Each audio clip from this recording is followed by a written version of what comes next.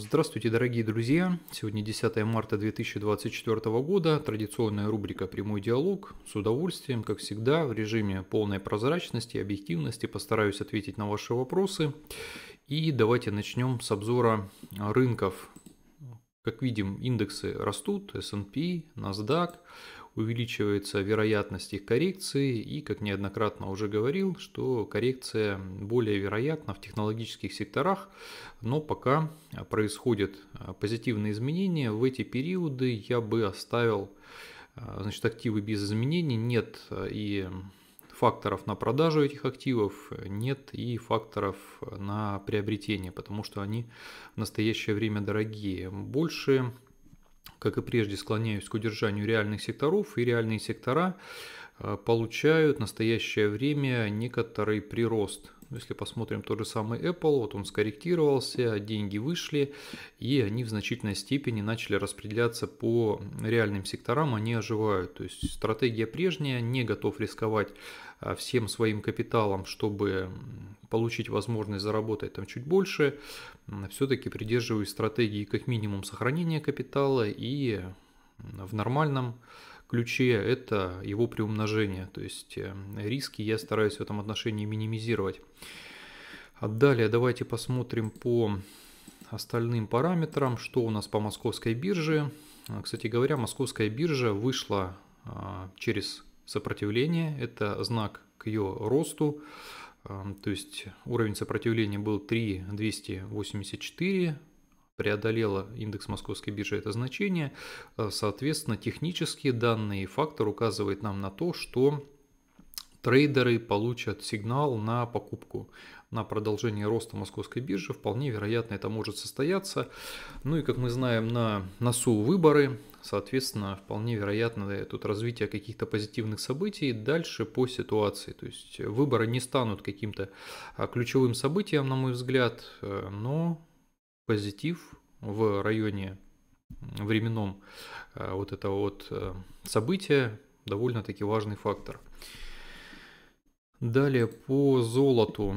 Ну, собственно, замечателен тот план, который озвучивается заранее и исполняется. А, не раз говорил о том, что ожидаю выход золота а, через 2070 вверх и, насколько помню, обозначал значение 2150, 2300, то есть это вполне вероятные диапазоны может быть 2300, 2200, вот э, такой диапазон э, с плавным, с плавным дальше ростом по мере снижения ставок, то есть какой-то ракеты прямо таки в золоте я не ожидаю, оно замечательно выросло, но золото оно низко волатильно и вот такие большие росты, это всего-навсего 5%.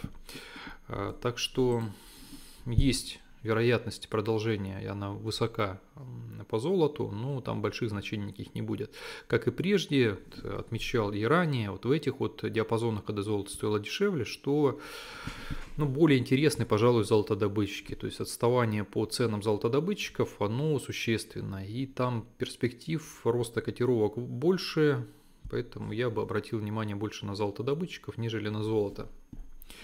По газу. Газ очень сильно штормит, то вверх летает, то вниз. Тут значения вроде как сильно не меняются, но даже какое-то мелкое колебание это 30%, как вы видите, да? То есть от минимума сейчас на 15%, тут рост на 30%, ну и в целом тут какие-то диапазоны в районе 100%. Очень сильно штормит рынок.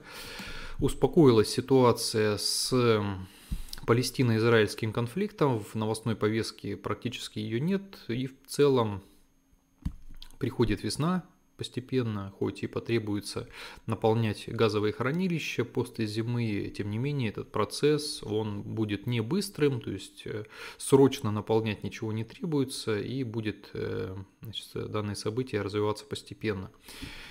Ну и, собственно, как в каждом прямом диалоге говорю, с газом играть бы не стал, а вот с газодобытчиками и там, с транспортерами, с переработчиками и так далее, вполне есть интересные моменты. Продолжаю удерживать одну из компаний. Так, по рублю тоже здесь на себя, как говорится, пух не накидываю, как золотом. А, по рублю, безусловно, скорректировали курс рубля э, продали больше экспортной выручки, чем в предыдущий период, стабилизировали его, ввели вниз, потому что ну, под выборы лишних а, движений, лишних сомнений и так далее никому не надо. Естественно, они будут держать э, в этом диапазоне. Для этого есть механические рычаги воздействия на рынок. Конечно, эта ставка не ставка работает там высокая, и э, люди перестали избыточно тратить денежные средства на самолеты, пароходы, там черную икру, как э, порой мы слышим там заявление, что э, потребительская активность очень сильно выросла, люди все скупают, поэтому инфляция там и курица поэтому с прилавков э, исчезла, потому что там люди стали ее потреблять там в 3-4 раза больше. Вот я считаю, что, конечно, процесс не совсем в этом заключен, то есть ставка здесь работает минимально, больше механическое воздействие идет по продаже экспортерами выручки.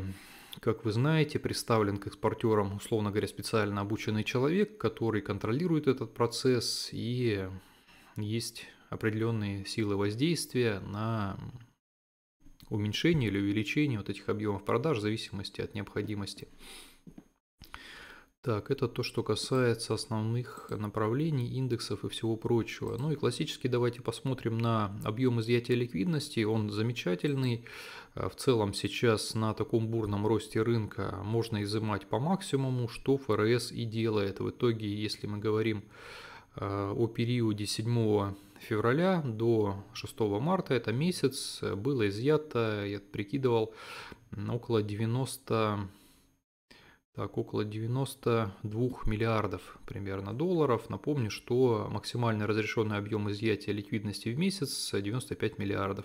То есть плюс-минус тут э, по датам, плюс-минус там 1-2 дня, плюс по бумагам, скорее всего где-то в районе максимума и было изъято. Это означает э, снижение объемов, то есть сжигание, скажем так, денег, нынешний э, процесс это предполагает, и ожидая положительное влияние на инфляционную составляющую. То есть замечательно, деньги постепенно сжигают. Конечно, остается еще довольно приличный объем средств. Давайте за 5 лет посмотрим. Очень сильно надули а, деньгами, поэтому инфляция а, так вот в серьезном объеме появилась. Еще изымать и изымать, но тем не менее это такой позитивный, замечательный фактор вместе со ставкой. Так, и давайте перейдем на к ответам на вопросы. Э, первый вопрос. Так, отмена. Первый вопрос от такси 9111. Добрый день, вы верите в альтернативщиков Enphase, SolarEdge, FTCI? Кстати, отчет а, на этой неделе, видимо по FTCI, SolarEdge и Enphase читались. А что скажете о поставщике кремния для солнечных панелей DQ? Был сильно перепродан, сейчас рос каждый день на 5%. Спасибо. Давайте посмотрим DQ. Так, что с DQ у нас происходит? По в целом, по материалам ожидаю восстановления спроса, поскольку будет восстановление потребления. Ну, собственно, видите, он тоже а, с альтернативщиками, я думаю, схожая картина у него. И действительно, он а, ну, как часть экосистемы альтернативщиков, их распродали, его распродали, потому что объемы снизились. Ну и поскольку его откупают, значит и там определенный процесс идет и в собственно, в альтернативной энергетике, если он является поставщиком, то вполне вероятно, что так и будет. Так, по дешевый очень, дешевый вид у него. Так, компания маленькая, да, компания маленькая, без долгов совершенно. А, это китайская, китайская компания. Тут э, тоже очень важный э, фактор э, для оценки – это Китай. То есть Китай дешевле, чем США, потому что в Китае больше рисков. И вот эти 5 ПЕ, которые мы видим, и может показаться для американского рынка это практически даром, для Китая это не даром. Этот момент мы учитываем. А, очень дешевый он, тем не менее, даже и для Китая.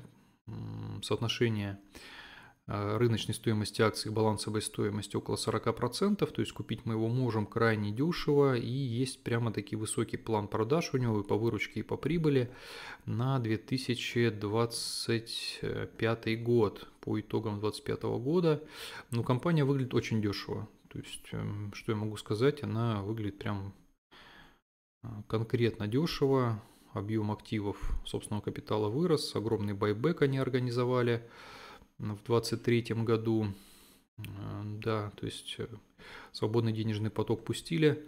А на этот момент, конечно, очень дешево. Давайте ее посмотрим. Так, она на Нью-Йоркской бирже торгуется, да? Dacon New Energy, да, это эта самая компания. Очень сильно откупать ее начали. Да, довольно-таки дешевая, что я могу сказать. Ну и понятно, почему они ее... Ну да, она, вот видите, как с альтернативщиками, в принципе, в одной э, упряжке, в одной лодке. Плохо альтернативщики отчитывались, плохо она отчитывалась. Нужно, конечно, смотреть, кому она поставляет а, свои компоненты. Но выглядит, да, действительно дешево. Можно эту компанию рассмотреть более подробно. И этот положительный знак как для самой компании, так и для альтернативщиков. То есть скупать начали ее, значит предполагают увеличение спроса на кремний. И, соответственно, спрос будет со стороны кого вызван? Спрос со стороны альтернативщиков. А это значит что? Значит, у альтернативщиков, вероятнее всего, частные потребители будут приобретать там в больших объемах эти панели, складские запасы уменьшатся. Но вот еще тут нюанс есть, конечно, газ дешевый, остается дешевый газ. Вот если бы газ подорожал, было бы поинтереснее. И на фоне подорожания газа и смягчения монетарной политики со стороны ФРС, это были бы такие более уверенные шаги э, и возможности приобретения данной компании. Я себе ее тоже помечу, если будет интересно. Давайте ее подробнее разберем, потому что выглядит очень дешевой, лишь бы ее прогнозы сбылись, потому что да, а, прогнозы высокие, до 9 до 10 долларов на одну акцию прибыли по итогам 2025 года, но как мы видим, что у альтернативщиков, что у данной компании бывает на 40% не дотянут, бывает на 25%, ну и так далее, а бывает и на 105% то есть ожидают э, большую прибыль, а получают убыток. Риски остаются значительными, но компания очень дешевая. Это большой плюс, то есть в стоимостном инвестировании тут все довольно-таки неплохо. Ну и замечательно, что они 16% байбека организовали. А может быть, кстати, это сейчас байбека идет. Нужно отчет разбирать подробно. Вот, э, когда уже дело доходит до интереса, конечно, стоит открыть отчет компании, почитать. Может быть, это э, выкуп не рынком идет, может быть, у них разрешенный объем имеет место быть, и они на минимальных значениях э, включают педаль этого байбека и начинают выкупать. То есть тут тоже важно понимать. Ну и в первом и во втором случае процесс положительный. Хотел бы добавить, что если сейчас выкупают рынок инвесторы, значит э, разворот более вероятен в ближайшей перспективе. Если идет э, данный выкуп при помощи байбека, то э, это нам не говорит о краткосрочных тенденциях, это говорит нам о том, что компания уверена в своей деятельности как минимум в средние сроки. То есть периоды несколько растягиваются. Так что да, компания интересная, можем ее рассмотреть. Так, следующий вопрос от Макса, 35282. Что, на ваш взгляд, э, лучше выбрать? Акции Realty Income или British Tobacco, или бонды с доходностью около 10%, э, например, Pemex Corp? А, стратегия долгосрочная, но предполагает фиксацию и перевложение в более недооцененные бумаги по мере роста переоценки. Хороший вопрос. Наверное, бонды я бы не выбрал, вот вы указываете 10%, э, тут мы даже, наверное, открывать их не будем. Э, корп, ну это корпоративные, видимо, облигации, э, либо это Pemex, я не знаю, это либо организация, либо это фонд определенных корпоративных облигаций. Но если это даже фонд, то фонд снижает риски. Если это единичная компания, то риски с 10% доходностью резко выше, чем у фонда. Можете самостоятельно посмотреть, что входит вот конкретно в этот PMX, мы сейчас разбирать это не будем. Но а, если мы говорим о бумагах, это вероятнее всего, если вы бонды пишете с доходностью 10%, американские бумаги, скорее всего, и те бумаги корпоративные, которые дают около 10% доходности, это очень высокорисковый инструмент. А, тут даже а, погружаться и не следует в, это, в эту тему, потому что когда такую дают доходность, она должна покрывать риски. То есть тут только доходность связана с рисками. Риски огромные, если 10% доходность. Так что бонды я, пожалуй, бы отмел в этом отношении. А, либо они будут дешеветь, и вполне вероятно, что какая-то распродажа по ним дикая состоялась, потому что, может быть, компании слабые входят. Э, ну, тут надо прямо отдельный ролик на этот счет делать, смотреть состав, вот что входит вот в тот тикер, который вы указали. Но наверняка там ну, сложновато, скажем так. 10% а это очень высокая доходность для американского рынка. Э, касательно Realty Income или British Tobacco, Хороший вопрос. Тут, видите, две компании, они совершенно различные. То есть больше исходим из того, какая стратегия вам более близка. Realty Income, у него плюсы – это то, что он находится в США, бизнес его стабилен и имеет возможность дальнейшего развития более широкими шагами, чем тот же самый British Tobacco, например. А, плюсом у него что еще является? Это ежемесячные выплаты дивидендов. Это тоже замечательно, каждый месяц ощущать э, денежный поток от компании. А, вот. А, и что касается British Tobacco, див доходность у него в текущий момент э, выше, но он британский, это мы делаем сразу скидку на то, что он британский, потому что экономика Европы, она слабее, чем экономика Соединенных Штатов, а, рисков больше. И сама деятельность British Tobacco ни для кого не секрет, что планомерно Потребление табака снижается в мире, и в последнем отчете British Tobacco опять же сказано, что перспективный план ориентир там 2024 года это 2-3% снижения продаж в табаке. То есть British Tobacco, да, он внедряет новые продукты подогрева, э, которые, собственно, развиваются. Он вышел там в безубыток по данному сегменту, но табакокурение пусть оно там в различных э, вариациях происходит, не то, что там табак, который прям вырастили, и вот куришь его через сигарету там или через трубку, но подогревы и все прочее, все равно это ну, негативное воздействие на организм, все это понимают, просто вопрос степени этого воздействия или изученности этого воздействия. Так что к чему я это говорю, что бридж табак, он дает больше дивидендов, но он более рисковый. Э, в том отношении регулирования. То есть везде затягивают гайки постепенно. Вот они в одном месте гайки затянули, бридж табака где-то ну, начал э, расти в другую сторону. Там начинают затягивать, он ищет еще какой-то канал. Realty Income этой проблемы нет. То есть э, регуляторных воздействий минимум компания диверсифицированная. И тут для себя можете плюс от Realty Income это более высокая надежность в плане дальнейшего бизнеса и возможности его развития, это ежемесячные выплаты, но чуть меньше дивидендная доходность. Или вы готовы к чуть большим рискам и готовы приобрести British Tobacco. Сказать, что какая-то из них лучше, я бы не сказал. Тут такая тонкая настройка уже идет. Мне и та, и та компания в принципе нравится. Но тут от мира ощущения больше зависит. Э, что бы я выбрал? Да даже вот не знаю, чтобы я выбрал. У меня сейчас и Realty Income есть в портфеле, и Bridge Tobacco. Обе компании купленные в средний срок. А, там будет э, по ситуации видно, скажем так. Может быть и обе эти компании иметь просто-напросто, чтобы получить э, что-то среднее с более высокой див-доходностью и чуть сниженным э, риском, нежели у единственного Bridge Tobacco, например. Можно и так сделать. Так, следующий вопрос от такси. Добрый день, FMC показывает сильный рост. Э, иногда даже против рынка все ждут коррекцию на 64-65 большой медвежий блок. Будет ли опять спад к 50? Что думаете про БГ и НТР? Давайте FMC откроем. Ну, это, собственно, это то, о чем я говорил в начале ролика, ну, касательно уже частности FMC, что некоторые коррекции имеют место быть в технологическом секторе, в эти моменты деньги перетекают в реальные сектора, в которых есть абсолютная у меня уверенность, что они вырастут, что с ними не будет никакой беды, там какой-то большой коррекции не состоится там, на 80%, на 10 лет. А вот поэтому продолжаю удерживать. Что с ним сейчас? Давайте посмотрим. Видел, что подрастает, Картева там подрастает. Вот они два актива. То есть Картева читалась получше и постепенное восстановление. То есть у нее откуп. Ну, я думаю, что она успеет э, на 68, ну или где-то будет приближена к этому значению в рамках справедливой стоимости.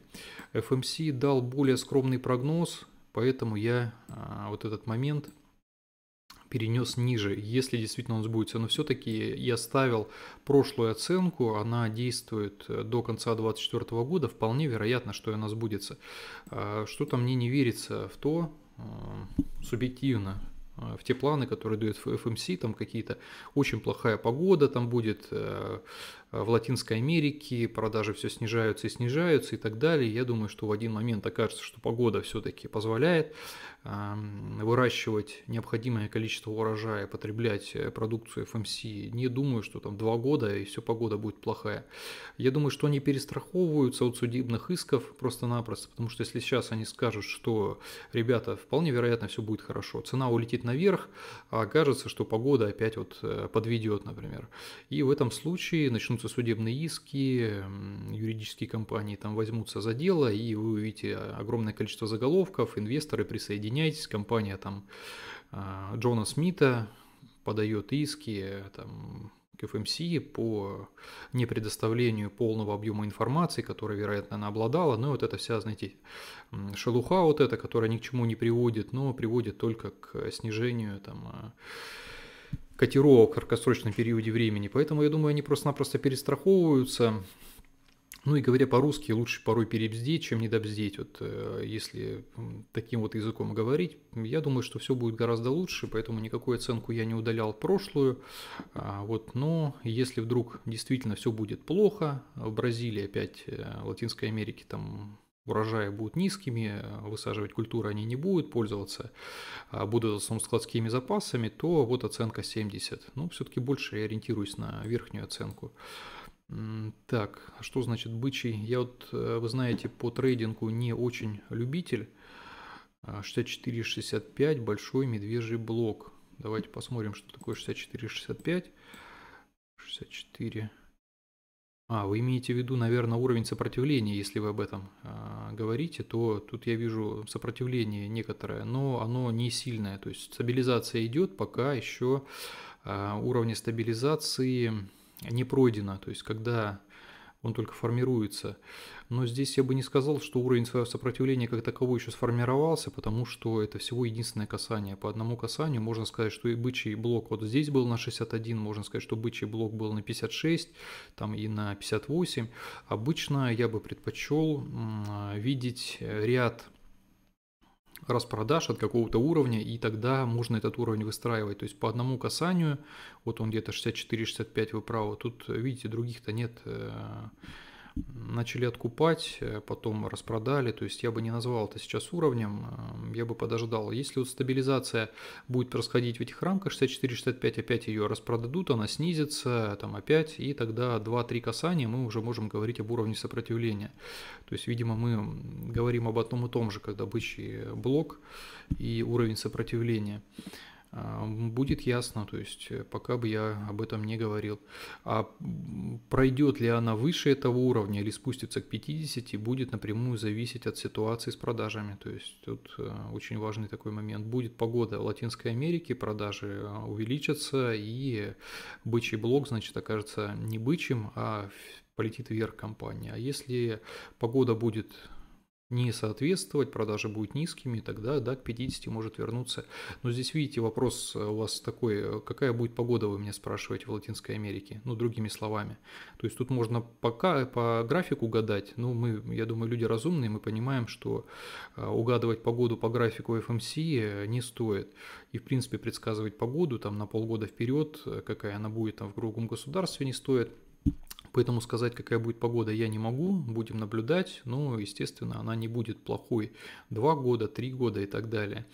А, будет восстановление и как потребление, так и восстановление складских запасов. Тогда бычий блок мы преодолеем и устремимся вверх. Продолжая удерживать FMC, приятно, что она развивается в котировках. Надеюсь, что это продолжится. Ну, по Картеви все а, более благоприятно. И всегда, вы знаете, в любой индустрии есть флагман восстановления, есть а, те компании, которые за флагманом следуют. То есть у одной компании чуть лучше дела, она начинает восстанавливаться, другие за ней подтягиваются. А, редко очень бывает такое, что вот эм, в индустрии, скажем, в одной компании все хорошо, у остальных все плохо. Все-таки, как правило, вот эти вот погодные факторы, факторы дистрибьюции складских запасов, они свойственны плюс-минус всем компаниям, потому что там каких-то инноваций у, по складским запасам или по погоде у одной компании нет, а, Погода она для всех одинаковая, складские запасы примерно для всех одинаковые. А, поэтому если один актив начинает восстанавливаться, то ожидаем восстановления остальных активов. Это такой базис. Так, э, про БГ. Давайте БГ посмотрим. Что-то знакомое, но давно не рассматривали. Бунш Global. Так. Ага, этот, э, упакованные продукции. Но, знаете, она мне не очень, я знаю, что не очень уже, потому что я рассматриваю это, видимо, конкурент Hormel Foods, там Джеймс Мукер, Campbell Soup и все прочих. Э, низкая маржинальность э, и стагнационные параметры. То есть эти компании, они много-много лет практически не развиваются. Я думаю, здесь то же самое будет. Ну, примерно, да, вот то, что я хотел сказать в начале еще вкладки. Обратите внимание, что там сколько, 12-13 лет назад выручка была 56 миллиардов, сейчас она 67. Ну, тут э, мы просто-напросто берем инфляционную составляющую и примерно ее сюда закладываем. И если 2011 год сравнить там с 2021 годом, к примеру, то тут полная стагнация идет. 56-59, э, тут даже на величину инфляции она не вытягивает. Компании очень консервативные, они, безусловно, являются защитными, это продукты питания, но слишком низок у них э, потенциал роста, скажем так. Да и вот, собственно, вот этот график, который мы посмотрели по выручке и по прибыли, вот он отражен здесь. Можно по активам посмотреть. Активы генератор прибыли. Активов в 2011 году было на 11 миллиардов, в 2022 году их 9 миллиардов. То есть объем активов снизился, объем собственного капитала снизился. Но собственный капитал у нас в первую очередь отражает объем долговой нагрузки, а, и э, активы мы можем посмотреть напрямую. То есть э, ни из чего получается ей иметь больше выручки, больше прибыли, и она будет болтаться просто в боковике много лет, вполне вероятно, что так и будет. Ну и вот по планам дальнейших а, продаж пока здесь на горизонте не виднеется каких-либо высоких результатов, поэтому я считаю, что компания сейчас мало интересна. А если говорить о справедливой стоимости, то нужно посчитать. Я думаю, что она тоже не невысокая. Хорошо, 23 год планирует закрыть, но маржинальность в 2024 году будет низкой. Это примерно а, в районе там 10 у него форвардный PE будет. Ну, давайте так вот кратенько посмотрим. В общем, я бы как заключение предварительно, я бы эту компанию сейчас не покупал бы. Интереса а, значительного нет, но восстановиться, ну, пожалуй, да, может восстановиться, но все-таки все нет. Я бы покупать не стал. А мне и в избранных нет этой компании. Вот есть Hormel Foods. Ну, кстати, Hormel Foods тут э, восстановился примерно к справедливой стоимости, но большого потенциала здесь нет. Я думаю, что по ПГ она в коротком горизонте времени э, недооценена, то есть она подрастет, вероятнее всего, но большой перспективы не будет, она где-то в боковике в плюс-минус будет вверх-вниз болтаться. Джеймс Мукер, по-моему, тоже к этим относится. Вот его откупили для справедливой цены, а сейчас спустится, а потом снова вырастет, ну и где-то там, по результатам 2024 года в 135 закроется. Так что компания, на мой взгляд, не очень интересная. НТР, по-моему, мы смотрели не так давно.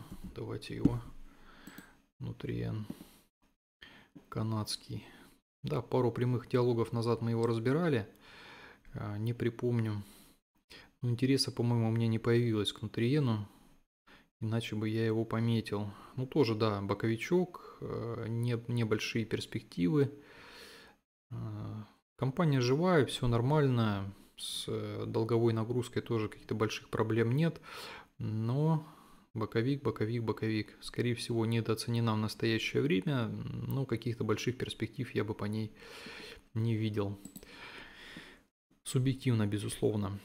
Так, от Олегл вопрос. Добрый день, Денис. Панв снизилась после отчета. Стоит ли подбирать? Давайте Панв посмотрим. По-моему, мы с вами его тоже смотрели. Панв. Может быть, я даже какое-то какое мнение насчет него давал. Нет, ничего не нарисовано у меня. Так, что огромное количество оценок. Напомню, что можете перейти в телеграм-канал. А, в телеграме, значит, э, вводите в общем канале а, хэштег решеточку и тикер. И очень много компаний у меня там приведены, оценка справедливой стоимости по ним. Я ничего не удаляю абсолютно. Все элементы, которые оцениваю, все компании, они все там есть с датами. Прибавляете к дате один-полтора года и получаете срок реализации вот того плана, который был. Так что это абсолютно бесплатно и там большой объем компаний а, оценен. Так, чем занимается разработчик программного обеспечения, довольно крупный американский. Ранее мы смотрели, но здесь я бы, наверное, дальнейшую коррекцию ожидал, что тут все не гладко у компании. Все не гладко. Похоже, у нее появились то ли конкуренты, то ли чего-то. И почему-то она решила скидывать маржинальность. Видимо, конкурирует. А, большие объемы дополнительной эмиссии, здесь, как мы видим, но она в убытках была компания, поэтому ей необходимость была для поддержания а, жизни, функционирования, зарплаты платить надо, аренду там и все прочее. В текущий момент прибыль на акцию 6 копейками долларов, а, так она и в 2024 году планирует отработать и резко планирует снизить. А, ну, тут единовременные затраты у нее идут, то есть она во что-то вкладывается, скорее всего какая-то инвестиционная, а, инвестиционная программа у нее есть, э, может быть в разработку. Так, ну давайте примерно прикинем. Вот рынок, я могу сказать, он не очень любит скорректированную прибыль. То есть по инвесторам, по инвестдомам, а, вот можно эти единовременные затраты – не учитывать, то есть они ведь в бизнес идут, они ведь не просто там а, куда-то деньги вывели, обналичили их там и кутят на них, они их э, пустили в дело, соответственно, прибыли они заработали довольно-таки много, но часть этой прибыли отправляют на затраты. И все-таки, по моим наблюдениям, рынок больше смотрит на чистую прибыль, если э, даже понимает то, что деньги не пропали, они будут инвестированы и дадут э, чуть позже инвестиционные отдачу, все-таки э, больше смотрят по чистой прибыли.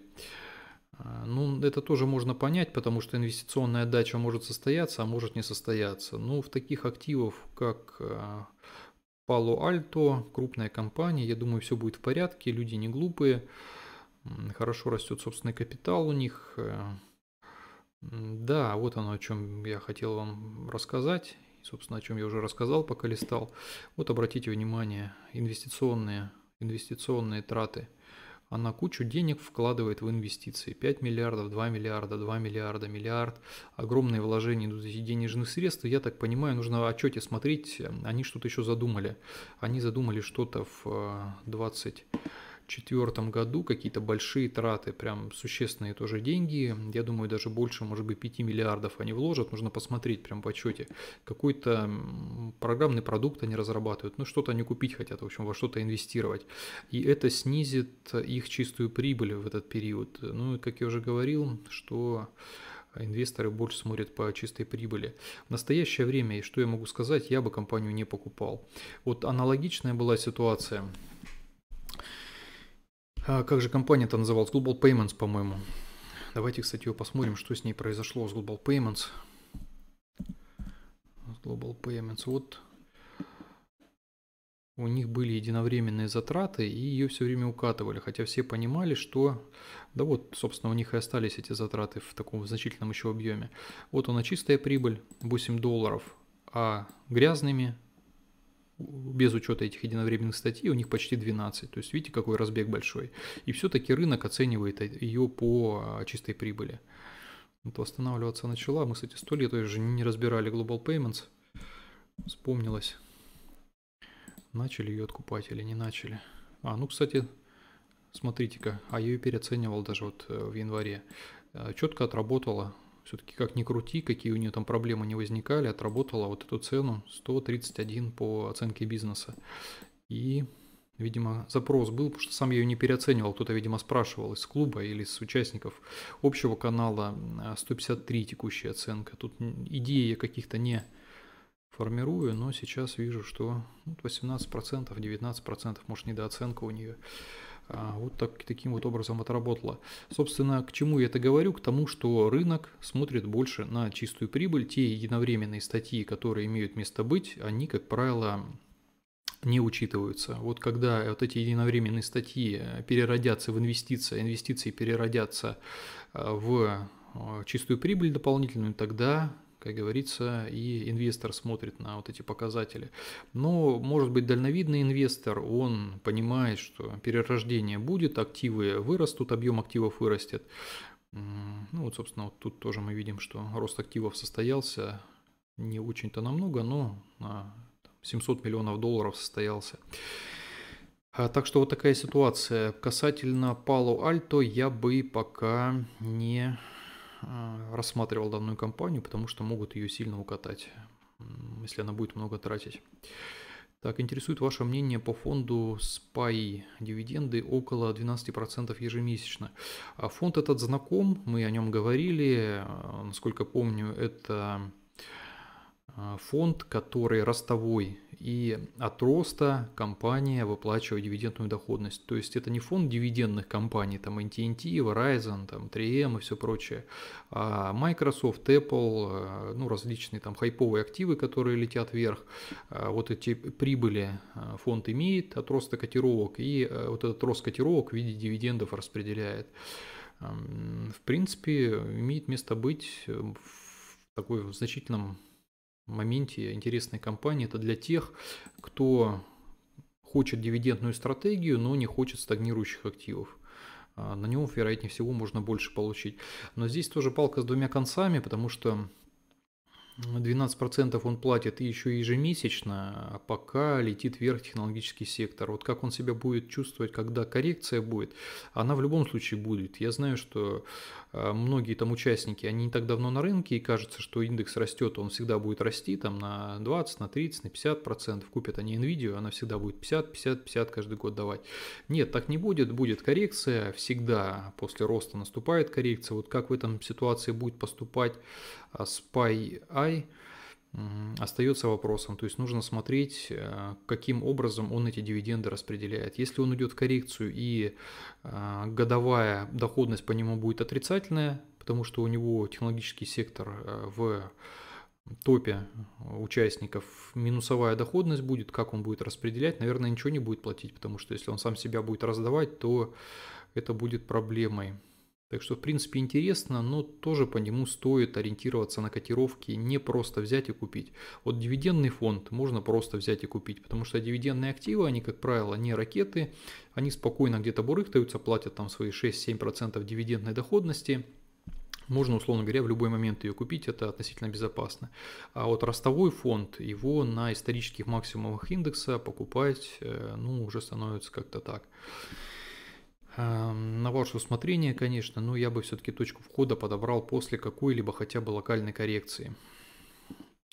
Так, от юзера следующий вопрос. Добрый день, Денис. Спасибо за ваши мысли, которыми вы с нами делитесь. Э, всегда, пожалуйста.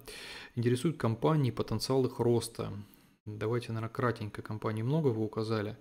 Горизонт 2 года. Бридж Табака.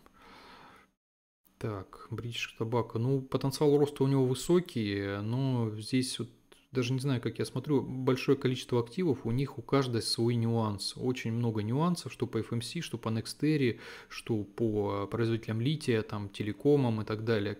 Как это вам кратенько сказать? У каждой свои нюансы.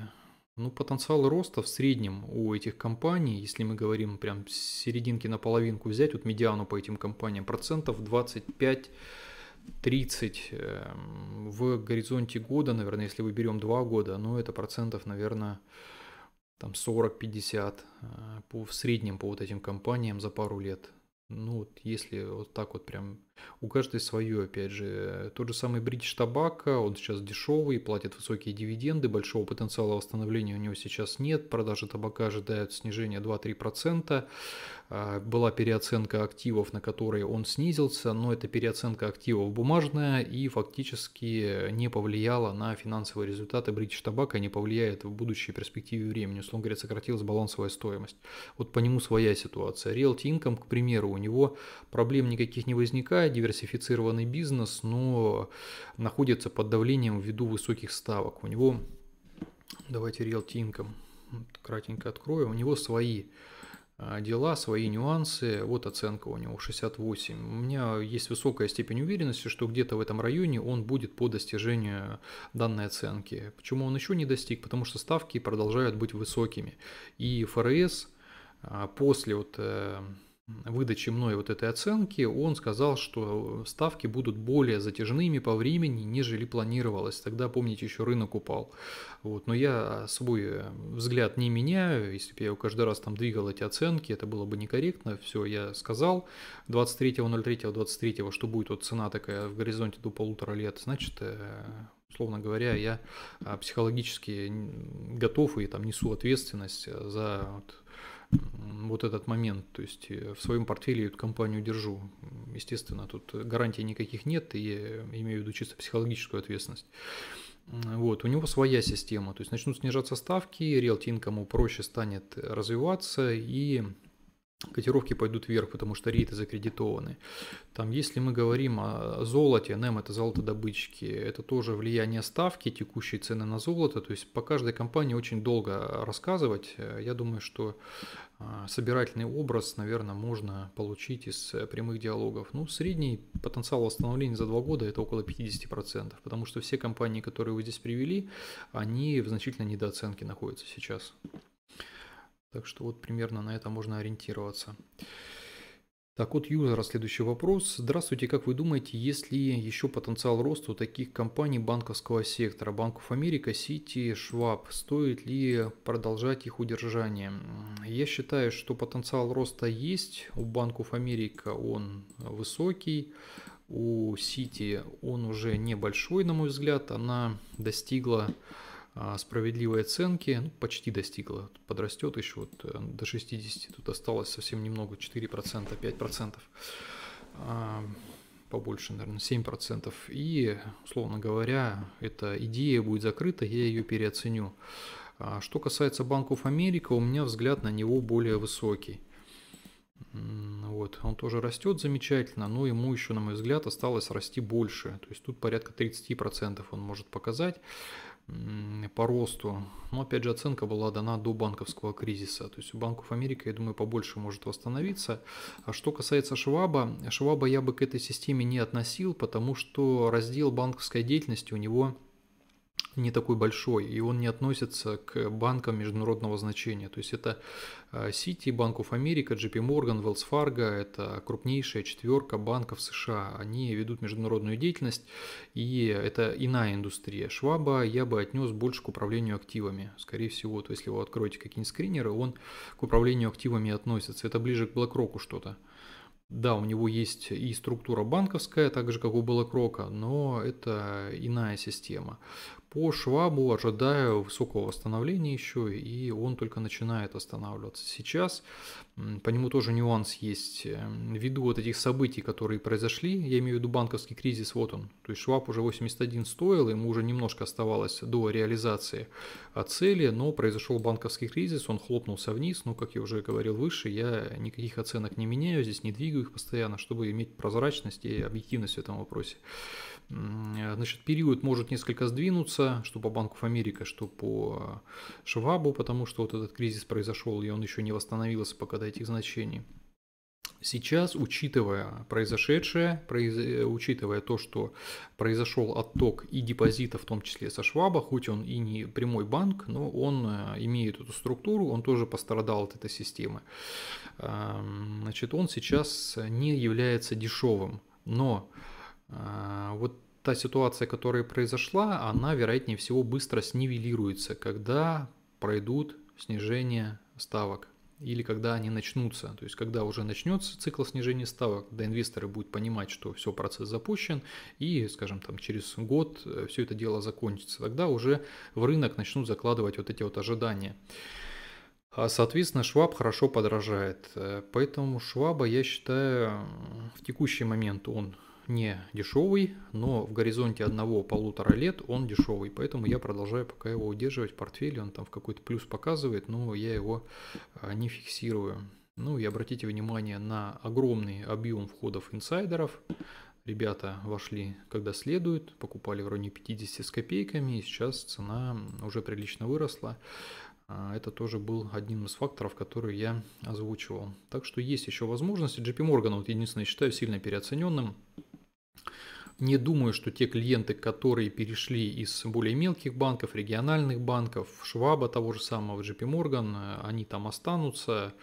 А, я думаю, что при стабилизации ситуации мелкие банки вновь смогут предлагать свои дополнительные какие-то моменты более выгодные, и с JP Morgan пойдут отток этих клиентов опять в те банки, из которых они уходили ранее, и коррекция произойдет в JP Morgan, которая станет плюсом для более мелких э, банков. Так, давайте дальше. От юзера следующий вопрос – Э, добрый день, Денис. Рассмотрите, пожалуйста, две компании с большим потенциалом роста, по моему мнению, в течение трех лет. Tempai Composites, производитель ветряных лопастей, кузовов автомобилей из композитных материалов, да, компания известная, и китайскую компанию Baozun предоставляет решение для электронной коммерции. Спасибо. Так, ТПИК давненько не рассматривали, относится к альтернативной энергетике, наверняка сейчас укатанный, но будет э, восстанавливаться да, укатанный и а, планирует останавливаться. Вот помните, кремний мы смотрели производителя, вот то же самое все красное. И любую сейчас откроем, вот альтернативку, будет все красное. TPI Composites мне не очень всегда был, но давайте посмотрим, какая ситуация у него сейчас.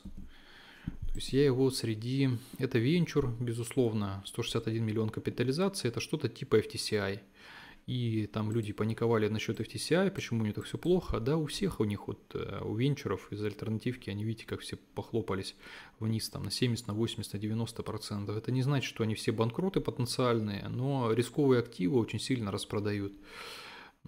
Так, по TPI. В убытках до сих пор компания. ПНС а, великолепный, за пару месяцев покрывает свою капитализацию выручкой, то есть их очень сильно распродали, конечно, безусловно, ну и планируют э, хорошую маржу получать начать в 2026 году. При этой марже компания сможет а, при этой марже компания сможет уйти в плюс и учитывая текущую стоимость показывать эм, ну, более-менее результаты. Где-то по Е у нее 15 будет, но с учетом потенциал развития это неплохо. Вы знаете, я бы не покупал. Вот, э, наверное, все-таки лучше а, перестраховаться и текущий период времени выбрать для приобретения более сильных бумаг. Да, тут безусловно, а, купив TPI и если все сложится хорошо, то можно получить 200-300% рост.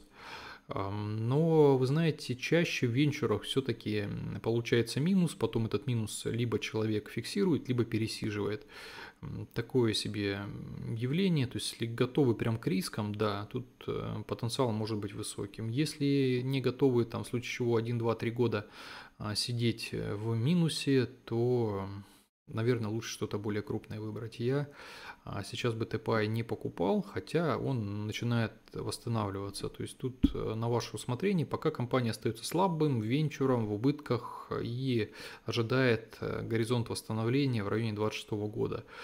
Как, собственно, и многие другие альтернативные энергетики. Давайте, кстати, FTCI посмотрим, что у него сейчас. Ждем отчет, посмотрим, что в отчете будет. Ну, ничего хорошего я от отчета FTCI не жду, потому что ближайшие планы по нему тоже не очень хорошие. Ну, тоже дешевая компания, безусловно, а, в минусе в настоящее время и планирует, ну вот он в 2025 году планирует в плюс выходить, тряхануло его сильно, он должен был уже давно быть в плюсе, но пока таковым не является. Но FTCI дешевле, FTCI дешевле. То есть если сейчас между FTCI выбирать и TPI, наверное, все-таки FTCI, потому что и планирует выйти он пораньше, из вот этого вот, из этой системы. Ну, тоже так. TCI тоже сейчас не покупал. Потому что ну, в портфеле есть, уже придется его ожидать, пока он восстановится. Он восстановится, безусловно. Но я бы все-таки предостерег от приобретения венчуров. Это, это большие риски. Так, Баузун давайте посмотрим. Баузун меня ностальгически отправляет в несколько лет назад, когда Китай стал пользоваться популярностью, Алибабу, там люди покупали, очень много было вопросов на этот счет, вот Баузун тогда мы рассматривали. С тех времен Баузун рассмотрен не был. Это было действительно года, наверное, 4 назад. Что с Баузуном сейчас происходит? Какой он маленький стал, вот когда сократился. Ну да, он стоил, видите, в те времена, там 19 год, когда вот это все летело, 18 год, э, моя китайская компания рассматривала 50 стоил долларов, сейчас он стоит 2,4. То есть у него капитализация снизилась э, в 20 раз, получается, даже больше, в 25 раз. И он уже совсем маленьким стал. И такой вот венчур, смотрите, как TPI композиция недалеко от FTCI находится, условно говоря. Так, очень дешево стоит, безусловно. А, за 1 доллар фактической собственности компании Bozun, приходящейся на балансе, мы платим всего 26 центов в настоящее время. Так, сколько он 2 доллара торгуется? Ну, если выбирать сейчас между TPI Composites, FTCI и Bozun, Bozun выглядит поинтересней. А, ну, тут, как говорится, на безрыбье и рак рыба. Bozun тоже такое себе приобретение – активы снижаются, ну, байбека небольшой сделали. Вот это в 22 году, то есть 23 год, видимо, он еще не отчитывался. Ребята, не знаю даже, что вам сказать, я, я бы не покупал. Вот как начнет восстанавливаться, а, может быть, что у него сейчас. Ну или хотя бы по трейдингу посмотреть, если хочется рискнуть. Вот здесь вот уровень как э, выше участник писал, медвежий блок или, или бычий блок. А, значит, здесь он явный. Вот он уровень есть, 2.65, он сформированный. То есть он действительно есть, как мы видим. Тут он был уровнем поддержки одно время, сейчас стал уровнем сопротивления. Вот когда через этот уровень сопротивления пойдет цена, это будет сигналом к тому, что тренд меняется, как минимум в краткосрочной перспективе. Отчет у компании будет 21 марта, отчета бы я дождался, и он покажет, либо он перейдет в стадию роста, либо он грохнется опять вниз, если там не будет э, ничего позитивного в этом отчете. Отчет совсем скоро, через 11 дней стоит подождать, и вот можно ориентироваться технически хотя бы на этот фактор. Ну, из трех компаний вот этих вот слабеньких э, я бы предпочел Баузу в настоящее время после отчета. Так, от Джоли Роджера следующий вопрос. Добрый день, Дири. Какой имеет потенциал на 2024 год? Ваше мнение насчет удержания таргета в долгий срок, как сильную компанию плюс дивиденды? Так, Дири я смотрел буквально пару дней назад. Я ее разбирал, Caterpillar разбирал, Дири. Ну, я нигде это в информационное поле не давал информацию. Это моя, скажем, внутренняя работа, которую я постоянно делаю. Много индустрии разбираю. По Дири меня смущает то, что они ожидают снижения продаж в ближайшей перспективе. Это заставляет не покупать дири и какого-то интереса не вызывает. А, значит, ну вот видите, по E-рейтио текущий в районе 10, форвардные 14, то есть на 40% а, примерно снижение ожидается по прибыли в будущем периоде времени. То есть сейчас компания отчитывается и получает 34 доллара на акцию. А, в 2024 году компания ожидает э, приличного снижения продаж на 20% и снижения маржи ну, тоже примерно на 20%, чуть более чем на 20%. Так что перспективы невысокие и возобновление продаж в ближайших э, отчетных периодов не ожидается. То есть, вероятнее всего, вот это пиковое значение, которое состоялось, ну, по 2023 году еще компания полностью отчитается, а, где-то будет в принципе, на этих же уровнях она и будет. Значит, и, вероятнее всего, пойдет некоторый такой циклический спад, который периодически возникает. Ну, к примеру, 13 год, а ну, кстати, да, вот 13 год, смотрите, а, снижение, потом возобновление продаж. И здесь вот примерно та же самая ситуация будет. Странно предполагать, что в Дире цикличность, она ведь производитель там сельскохозяйственной техники, различных механизмов, агрегатов, но она есть. И компания Дири нам сейчас с вами открыто говорит, ребята, у нас будет снижение продаж в 2024 году. Я не нахожу здесь э, а, перспектив для ее роста, скорее всего, будет боковичок, потому что отсутствие роста это уже сигнал к снижению, потому что зачем инвестор будет держать компанию, которая не растет, которая говорит о том, что, друзья, мы не будем расти в ближайший год-два, они могут купить что-то другое, что обещает им потенциал роста. И я тут приобретений по Дире бы сейчас не делал, если только что-то не поменяется. Поэтому из вот э, некоторое снижение, я думаю, что оно может продолжиться в районе там 320 э, долларов. Так что по Дире перспектив высоких сейчас нет. Что касается таргета, ну это по Дире я даже оценок не стал ставить. То есть я ее посмотрел, интереса нет, справедливую стоимость не стал для нее формировать. Видите, она взлетела очень сильно, это пиковое такое значение для нее. А, то есть тут э, максималка, и она должна, по идее, скорректироваться, чтобы нивелировать ту не то чтобы риски те, а то отсутствие потенциала, которое озвучивается в ближайшее время, не должна она так дорого стоить. Так, что еще? Таргет. Да, таргет я уже скопировал. Вы спрашиваете, можно его ли удерживать. Но вот таргет отработал, э, вот эти, эти моменты я по нему формировал сообщение в общем телеграм-канале, что достиг э, таргет справедливой оценки стоимости. Касательно вот э, достижений тех же самых оценок справедливой стоимости, все-таки э, даже с учетом там погоды в Бразилии, там в FMC и нюансов с альтернативной энергетики. Подавляющее большинство компаний, которые оценки давались, и по которым нет вот таких вот единовременных факторов, где-то погода пропала там, или дистрибьютор начал распродавать что-то, они достигли тех целей, которые были поставлены. И опять же, могу констатировать факт, примерно 80-85% оценок по компаниям, они достигают э, оценки бизнеса. Вот э, как это работает, и я с каждым годом все больше и больше приобретаю уверенности в своих эм, возможностях, и, наверное, кто даже давно на канале видит, что ну, подавляющий, такой прям сильно подавляющий объем компаний, он достигает этих оценок, но от там, снижения золота или погоды, к сожалению, я предсказать не могу, предостеречь не могу, и ряд компаний приходится сдвигать по горизонтам достижения но это минимальные, скажем так, объемы из общих. Так что таргет пришел к справедливой стоимости, можно ли его удерживать? Конечно, можно, хорошая компания.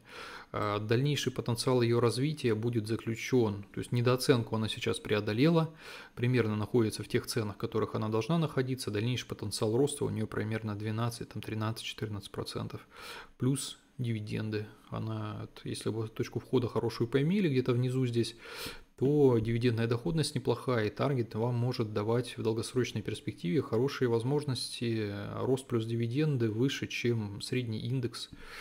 Так что таргет вполне можно удерживать, сильная компания, продажи восстанавливаются, маржа восстанавливается.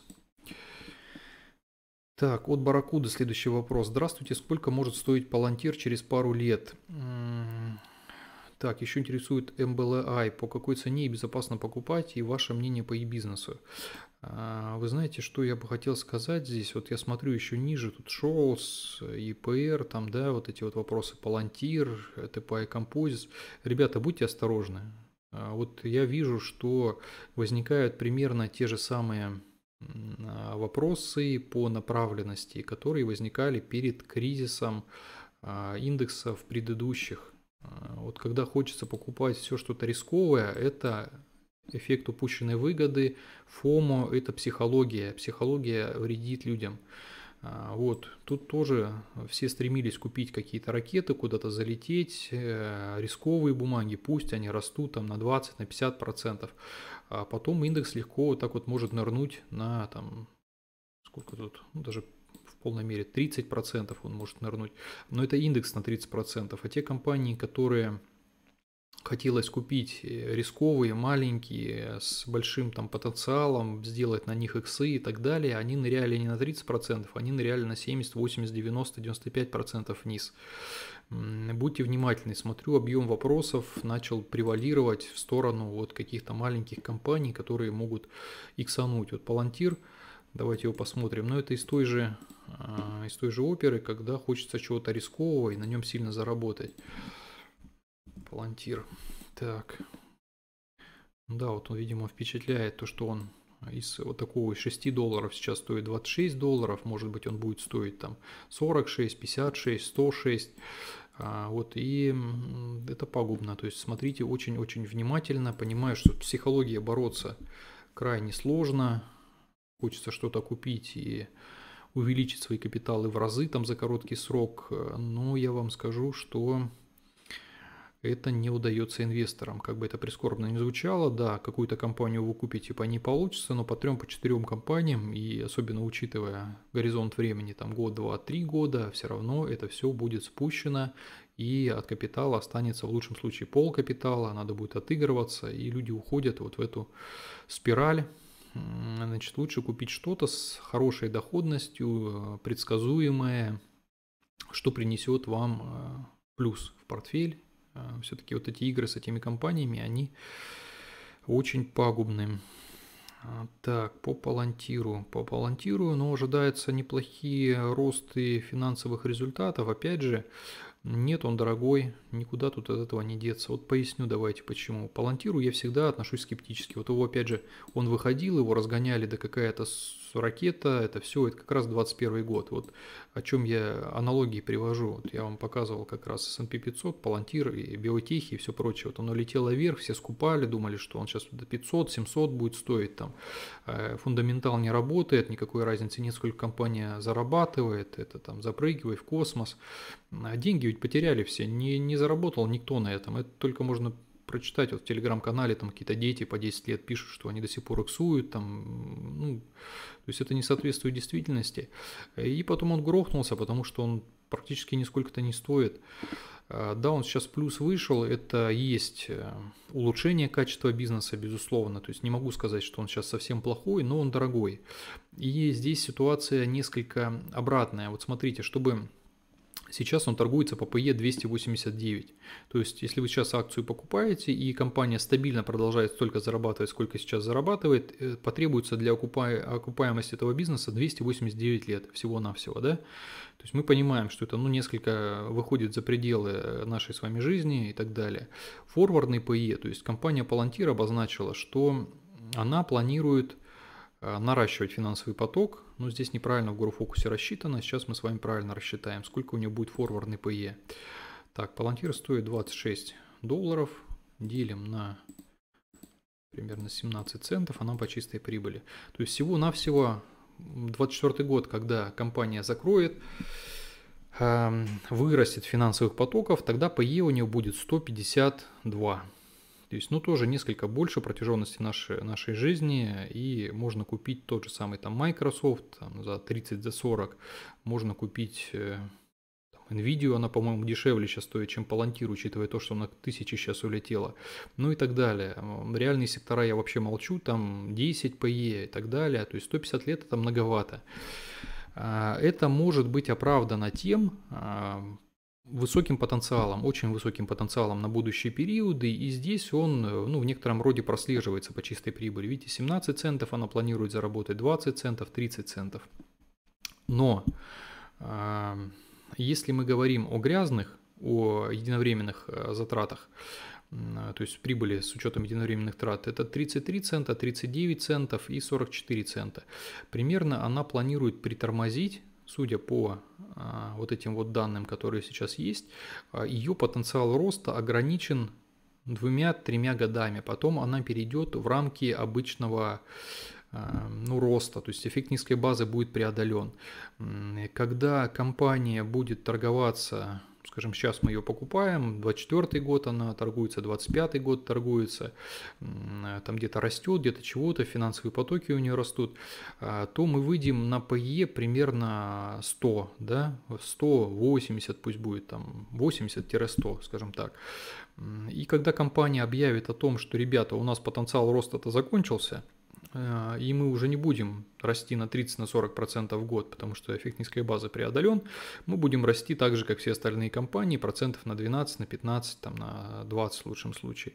И в то время люди посмотрят, что PE 80, перспективы высокой нет, а цена у нее разумная должна быть, э, ну, PE 30, скажем так, PE 25, и вот распродажа может состояться на 50-70%. На То есть, в принципе, если мы динамику будущих э, периодов э, примерно выстраиваем для себя, моделируем, то понимаем, что сейчас компания очень дорогая. И она может оправдать свою цену только если будет расти ближайшие несколько лет процентов на 50, на 60.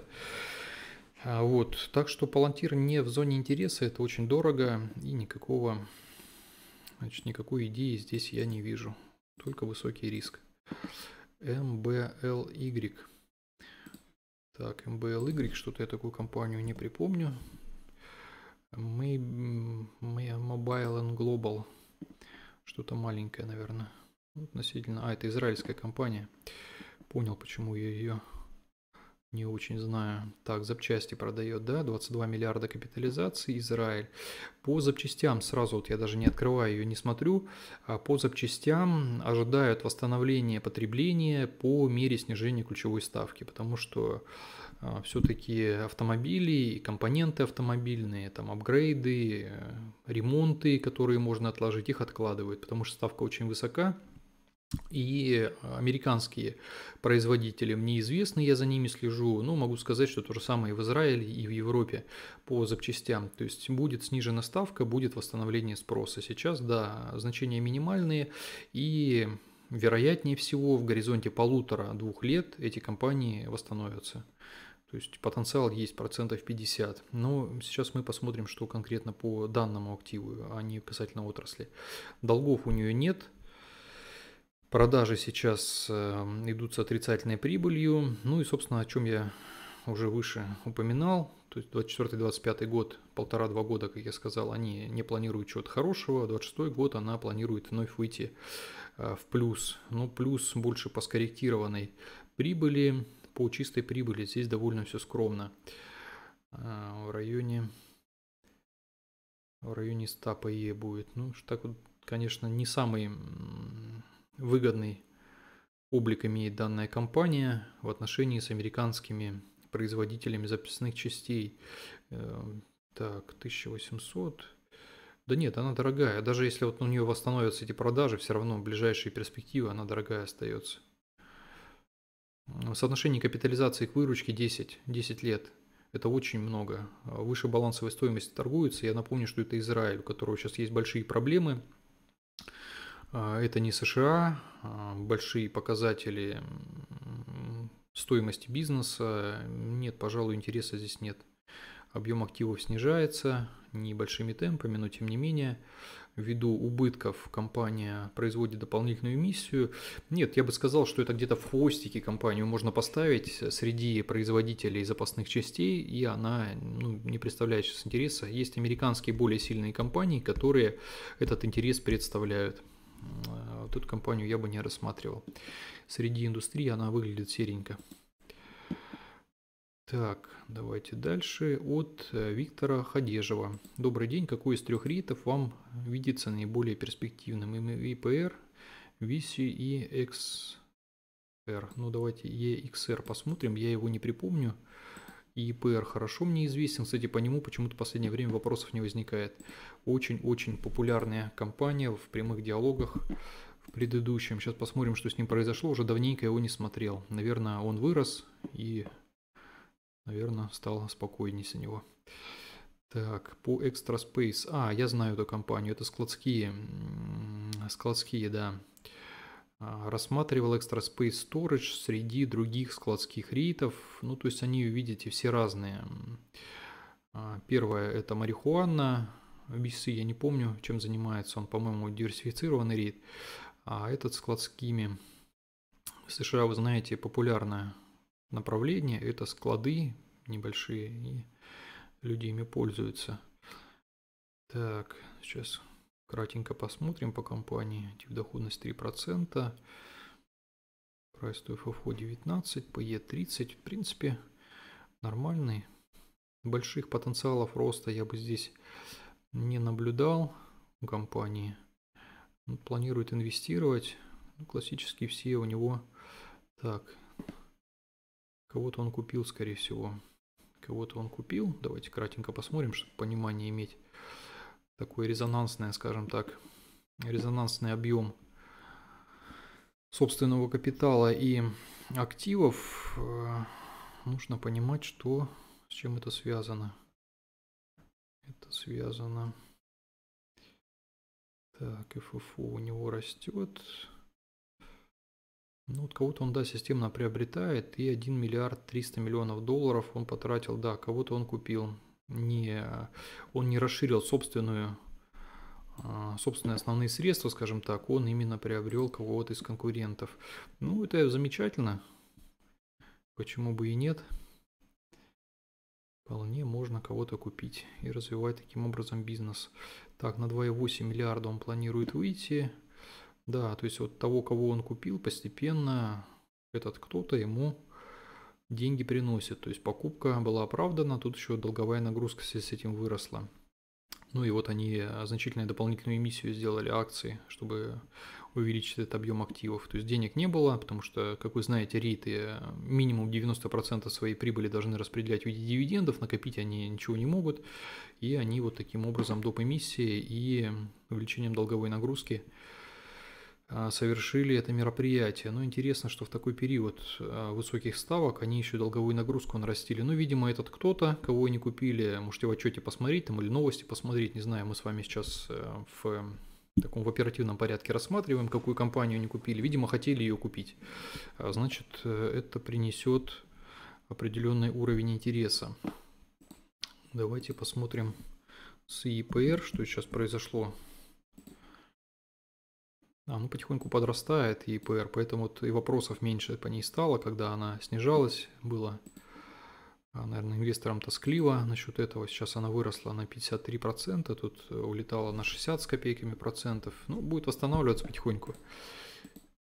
Так, по ней ввиду высоких ставок сократились тоже потенциалы, поэтому ее значительно распродали. Когда ставки перестанут быть такими драконовскими, компания ИПР продолжит свое восстановление. Так, сейчас загрузится. А тут конкретных данных объема нет. Так, ну и ИПР значительно ниже. Здесь мы больший объем рисков э, в эту компанию закладываем.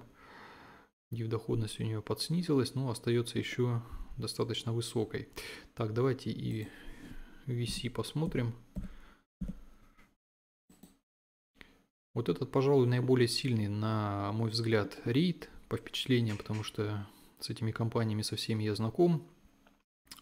Это наиболее сильный актив всегда был, вот восприятие. Если вы меня спросили без рассмотрения текущей ситуации, я бы сказал, что он самый сильный. Ну и, пожалуй, я бы его таки, таковым сейчас и обозначил в плане интереса. В плане интереса, да, пожалуй, так. Да, я бы купил именно эту компанию, потому что потенциал роста для рейтов у него неплохой, в районе 5% по прибыли, есть и увеличение выручки, дивидендная доходность у него приемлемая, 5,53 это и не очень высокая, потому что по ИПР, да, там возможности роста у него есть большие, но и рисков гораздо больше. Это маленькая компания специфической а, направленности. VC, пожалуй, здесь она такой вот наиболее средний вариант по надежности и доходности. Я бы эту компанию выбрал. Давайте еще парочку вопросов и будем заканчивать. Так, от ADR 009 следующий вопрос. Здрасте, пару слов про компанию Scholz. Вот видите, опять э, маленькие активы. Стоит брать среднесрок, еще Tesla рано купил, стоит усреднять. Давайте Scholz посмотрим. Сейчас у меня, по-моему, ее нет в избранных. Но ранее за этой компанией наблюдал. Но не все, видите, все компании из альтернативной энергетики, особенно маленькие, они сейчас находятся на минимальных значениях, восстанавливаться будут тоже все вместе. Пошелся. Вообще ничего, такой венчур был. Ну, он сейчас крупненький остался, даже с учетом распродажи 2 миллиарда у него капитализация.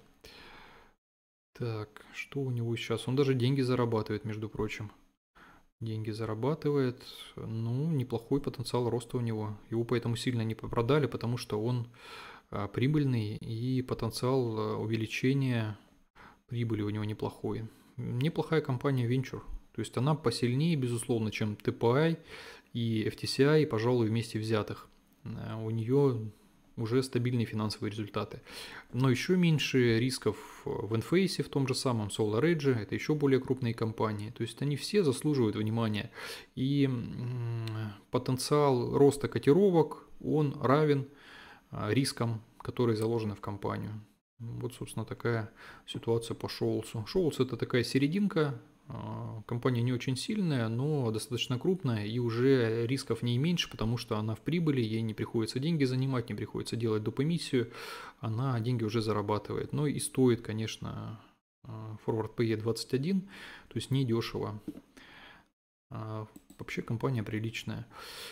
Так, Тесла рано купил, стоит усреднять. Нет, я бы Теслу не усреднял бы и не покупал. Я по ней переоценку сделал публиковал эту переоценку в телеграм-канале. А, вот, то есть я считаю, что Tesla имеет потенциал снижения и а, среднегодовая, скажем, медианная цена, которая будет по результатам 2024 а, года, середины 2025 года, это примерно 166 долларов. То есть я в Тесле вижу больше возможностей к снижению, нежели к росту. Вот примерно такая оценка по Тесле. Не исключаю, Тесла это очень такой актив э, хайповый, где-то там Маск выступит, что-то скажет, она куда-то отскочит, там э, все прочее. Но если говорить об инвестициях, об оценке бизнеса по стоимости, то это примерно 166 долларов. Тут растущая конкуренция и высокие ставки, которые не позволяют э, приобретать автомобили, такой отложенный спрос будет, э, когда ставку понизят, отскочит цена вверх, потому что продажи вырастут, но там и конкуренция соответствующей стороны китайских автопроизводителей. Так, давайте дальше. Вот авиатехнолога вопрос. FMC растет как на дрожжах, почти 20%. Шеф, что делать? держать, FMC держать. Я думаю, что худшие периоды, если не то чтобы позади, не могу сказать прямо таки, что они точно уже прошли, но они недалеки от э, своего апогея.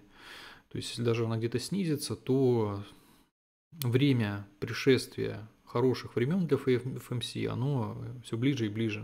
То есть просто продолжать держать, и я считаю, что это самый будет разумный э, вариант. Так, давайте следующий вопрос от юзера.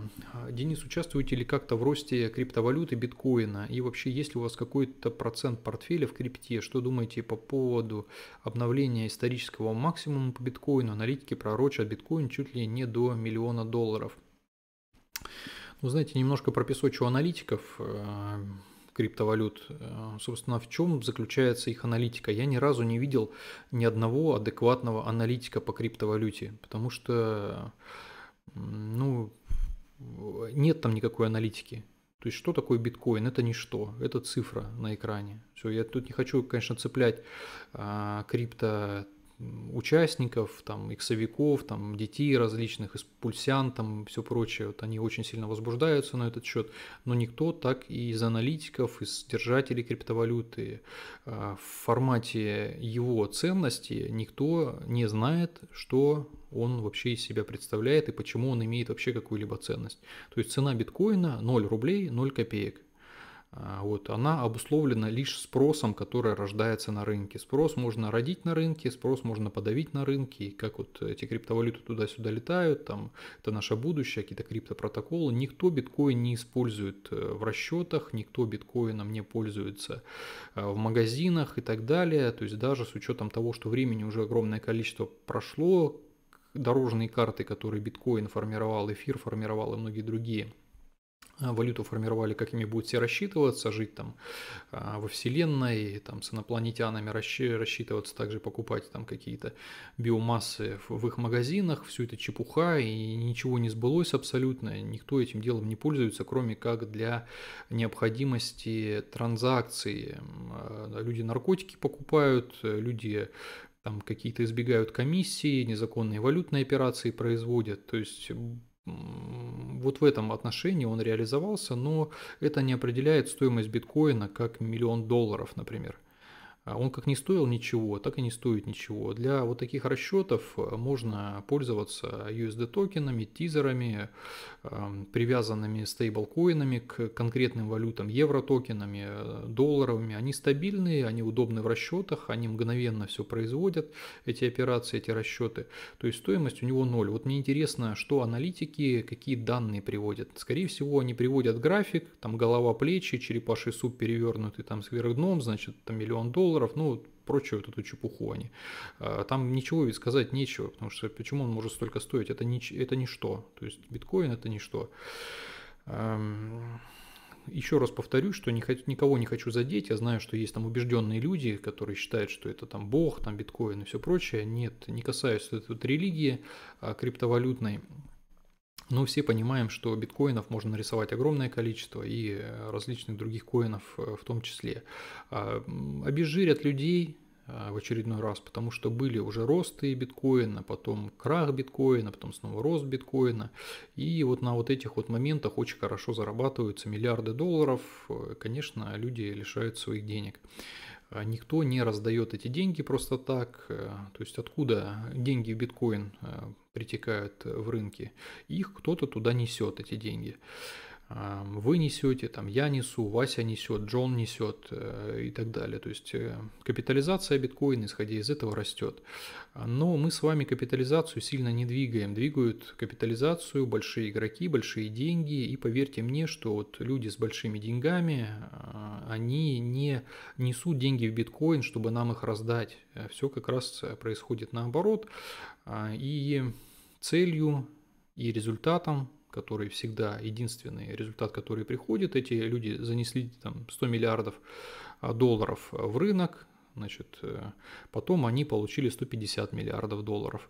Да, кто-то Вася может там из своей тысячи долларов сделать 2000 долларов, такое тоже может быть, но в основном все остальные люди своих денег там лишатся или лишатся наполовину и так далее. То есть тут закон о сохранении энергии, деньги не бесконечны, это важно понимать.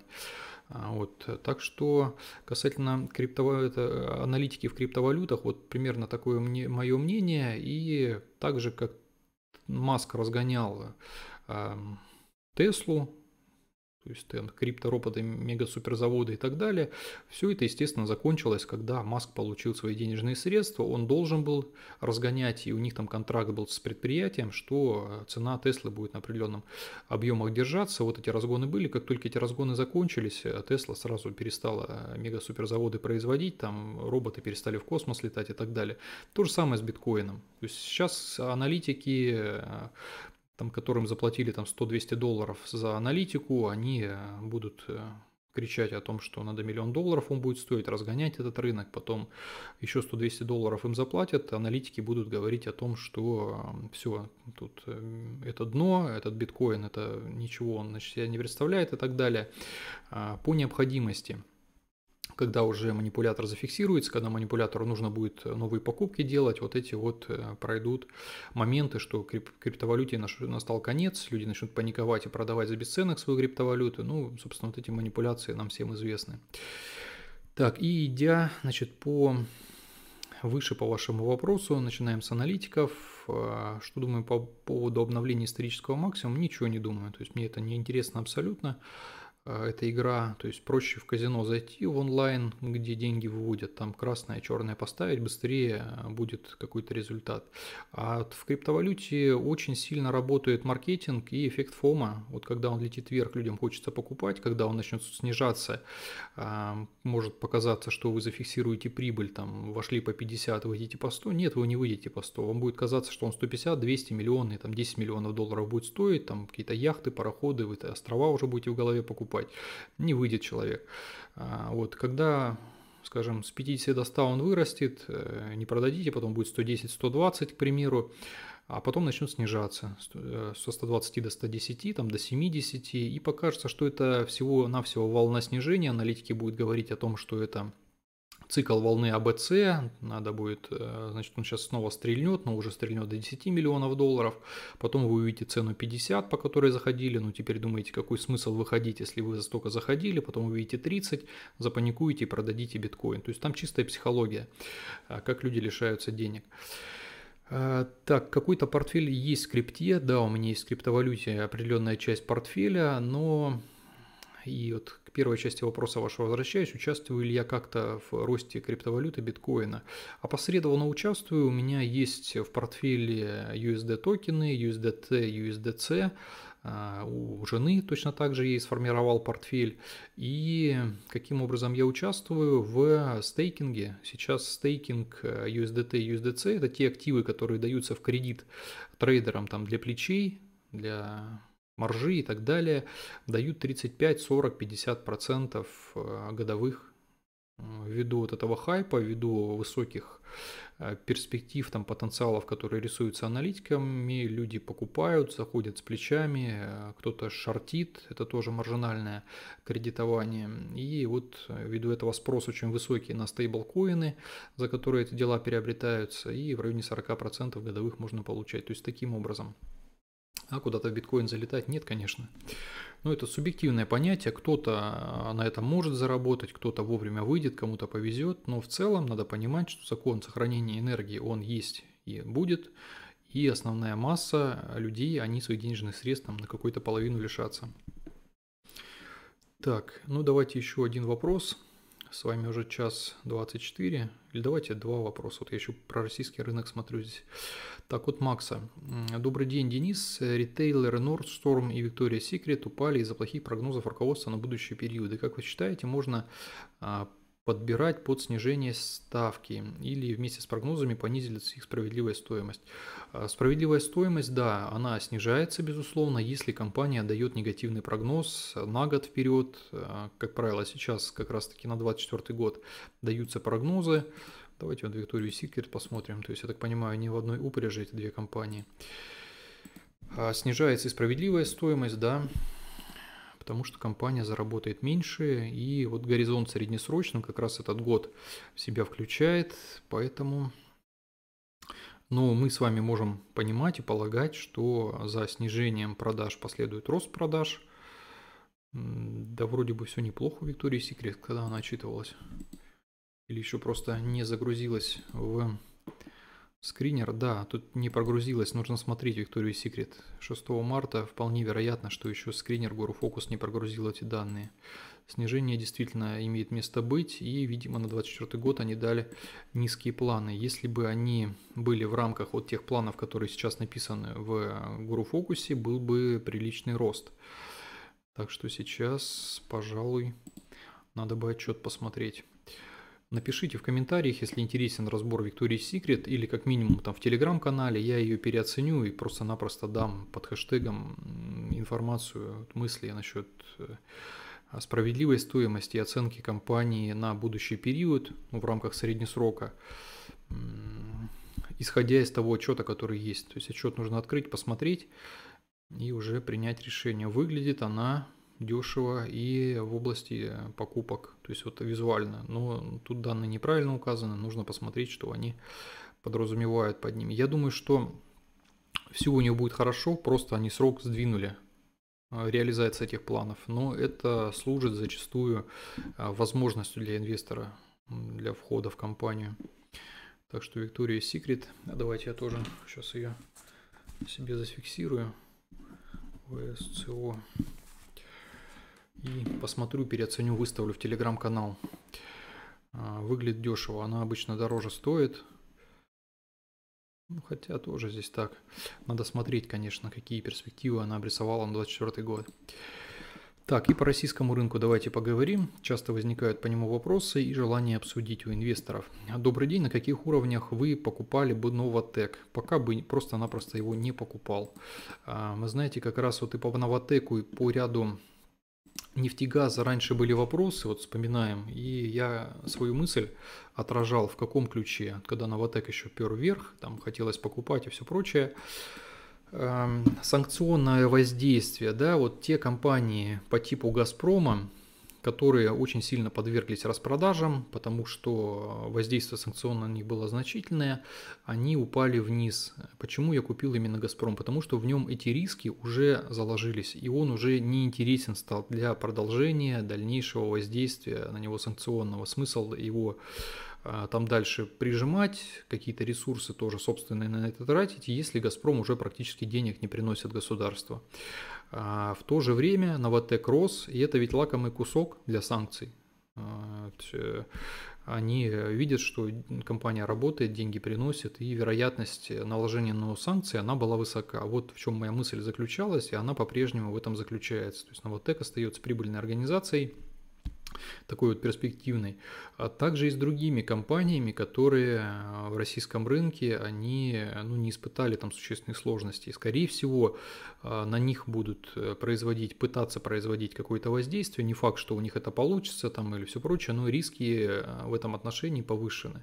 Поэтому сейчас Новотек в фокусе внимания недружественных государств и вот эти воздействия могут на него производиться. А поскольку многие контракты экспортные, то есть какие-то воздействия могут иметь место быть, и в этом ключе я бы просто сейчас не стал а, касаться данного вопроса, потому что я понятия не имею, какие планы у зарубежных сейчас уже не партнеров, в отношении Новотека. И я не думаю, что нужно вот эти падающие ножи ловить и заходить в компании, которые стоят дорого, которые не пострадали от санкций. Они вчера не пострадали, завтра могут пострадать. Покупать лучше то, что а, упало, и то, что имеет потенциал восстановления. Покупать то, что еще упасть только может, а, я бы не стал. Вот такая вот мысль. Так, Совкомбанк и ЮГК. Как долгосрочная инвестиция, по-вашему, есть потенциал? Совкомбанк, безусловно. Совкомбанк э, в портфеле есть. Я еще наращивал его позицию, и она сейчас максимальная среди компаний. Продолжает расти компания. Да, потенциал остается среднесрочным. Купили ведь они Home кредит. Э, в принципе, потенциал развития и темпы развития банка, они выше среднего. Ну и банк, он средней капитализации, не очень большой, есть дальнейшая возможность его роста. Мне этот актив нравится, ну, больше он нравился в момент приобретения, когда все были покупки, сейчас уже так осторожно с Совкомбанком, но еще расти он может. А касательно ЮГК, ЮГК, помните, ведь я его разбирал при выходе на, э, на IPO, значит, оценку ему давал, и кто смотрел эти оценки, может увидеть, что значит, справедливой стоимости ему там 60, что-то 65, 68, может быть, э, давал, а интересный выход э, в биржу и вообще интересная цена для ВГК обозначал 70 с копейками. Собственно, примерно так и есть. Его сначала укатали, он стал дешевым, и потом э, откупили до уровней справедливых стоимостей. Сейчас большого потенциала в ЮГК я не вижу. То есть покупать бы я его не стал, мне в целом компания не очень интересна. А если тот же самый Совкомбанк, который также показал уже какой-то значительный рост, э, он имеет, на мой взгляд, большие возможности для ежегодного прироста финансовых потоков, роста бизнеса, ЮГК едва ли эти возможности имеет в таком большом объеме. Но это такое мое субъективное мнение. Все-таки мне больше нравятся компании, которые показывают четкую прибыль. У ЕГК там периодические убытки, но они объяснимы. Тем не менее, ЮГК в долгую я бы не имел. То есть среди этих компаний интересно всего Совкомбанк, э, Новотек тоже будет интересен, но пока только под вниманием.